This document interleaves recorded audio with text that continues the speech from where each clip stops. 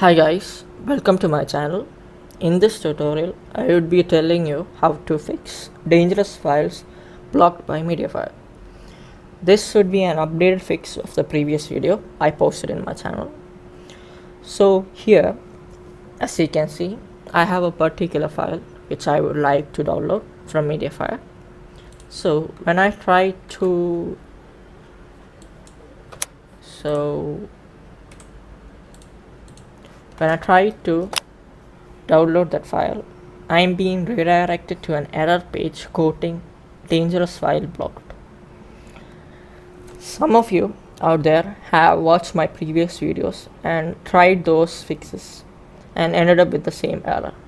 So here I will be telling you uh, another updated fix how to fix these.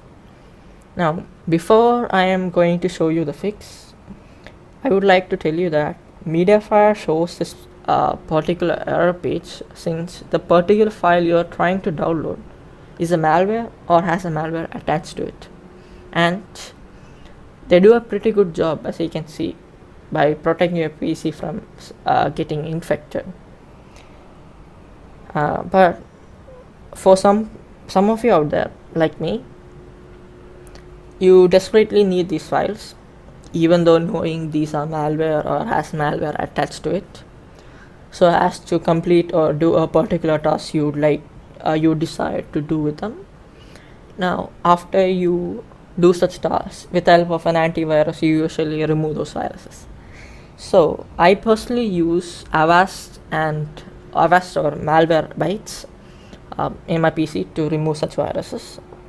So i would like to suggest all those of you who don't have an antivirus installed to your in your computer to install an antivirus before you proceed to the fix. Now moving on or uh, going to the fix. The first thing you guys want to do is click on this url now copy everything uh, that is after the quickkey between the equal to and the and excluding the equal to and the and that would be this character copy it open a new tab type in www.mediafire.com log into your account or if you don't have an account you can just sign up and select the basic plan since it's free. Now in your account um, you could see this mediafire getting started.pdf or some other file which you are able to download just click on them. Now you'd be redirected to this download page.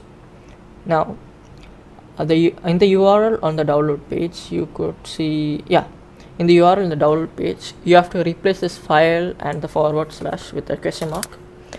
And everything after this particular character including the forward slash just replace it with a comma. And uh, copy paste the character which you copied before. And click on enter. Now you would be redirected to a various Sonos page or shared files page. Here you would find that mediafire getting started.pdf or whatever file you edited the url and the file you were not able to download now here what you want to do is right click on it on the file you want to download which you were blocked and click on copy file to. Now select destination folder click on my files copy to my files. Yeah copy file slash folders. And you will be seeing a pop-up here. After you see that pop-up go to your media file folder. It will automatically reload otherwise just reload over here.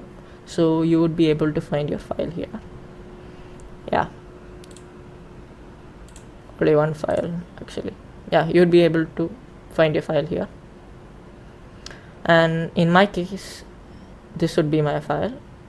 And to verify to you guys if I just click on it and try to download I'll end up in the same error. So what here I would be doing is right clicking on it on that file and I'll be clicking on share. Then I'll be copying this link opening my notepad.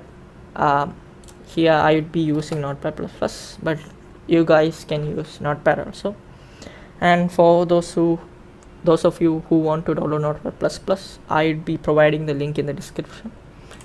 And paste that copied link in a notepad and replace this file forward slash with a question mark and copy this entire thing paste it on a new tab and click on it.